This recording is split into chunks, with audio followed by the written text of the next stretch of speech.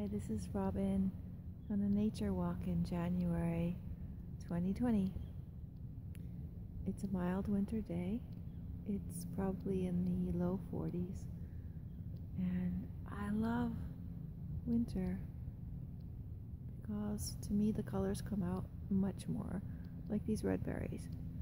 Maybe we don't notice them so much in summer, you know, the colors of things because there are so many colors. But in winter, when everything's kind of more more drab, like you know there are no leaves on the trees and things like that, things like this stand out, and it's beautiful. Look at the colors and the green of the evergreens, any kind of evergreen we walk up to, we walk up to it really closely. The green is really green. This, this is a juniper tree.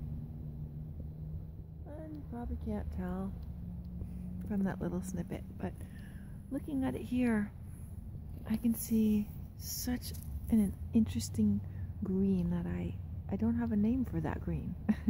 you know, in oil paint, which is my main medium, there are all these different, er, millions of reds, millions of blues, millions of greens, millions of yellows. And I don't have a name for that green.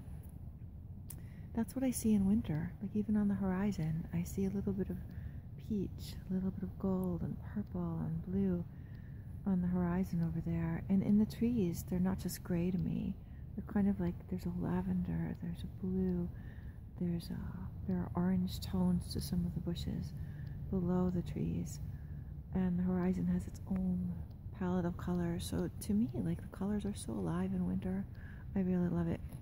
I love it. So I would say that it's really important that even if you're tired, not feeling well, if you can get out into nature, even in the winter, if it's a mild day, try to, even for a short walk. It's really important, super important, because there's something about nature that so much. Look at this. Look at this wood, the greens, the pinks. It's like, it's kind of fleshy. It's green, it's pink. There are all these different colors in the wood. And that green, that moss green, is so amazing. All the browns they're reds, really. Purples in here, maroons. Anyway, to me, winter comes alive. As long as everything's not covered with snow, and then everything's blue.